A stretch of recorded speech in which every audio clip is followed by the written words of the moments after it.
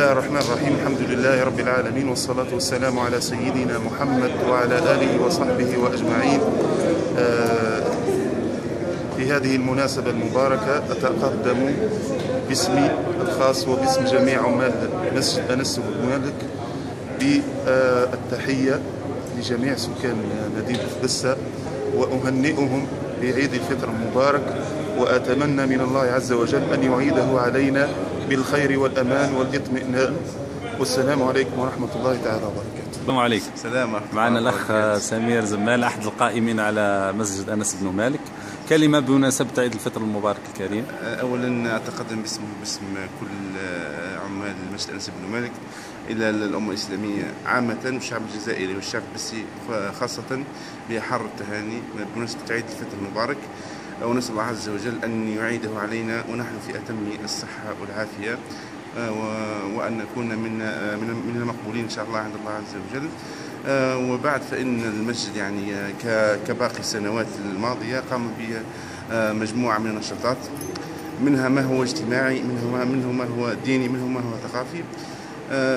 فقد قمنا أول, أول, أول- شيء بجمع مجموعة من المواد الغذائية.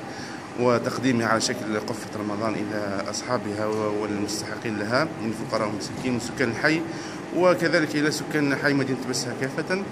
آه، أيضا قمنا بنشاطات آه، ثقافية بإقامة بعض المسابقات والتي كرم أصحابها يعني في ليلة 27 كما تعلمون ذلك.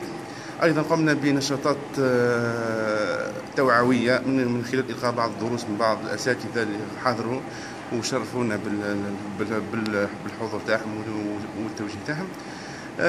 على العموم هذه آه، أغلب النشاطات إن شاء الله في المستقبل تكون إن شاء الله هنا- هناك مبادرات أخرى. وربي يتقبل إن شاء الله على ال- ال- المحسنين وعلى الفاعلين وعلى آه، الذين ساهموا سواء من قريب أو من بعيد في آه، في هذا النشاط. وأجدد يعني تحيتي وكل دعواتي انه يتقبل الله عز وجل من جميع المسلمين وأن تكون إن شاء الله صفحة مشرقة في إن شاء الله في في ميزان حسناتهم.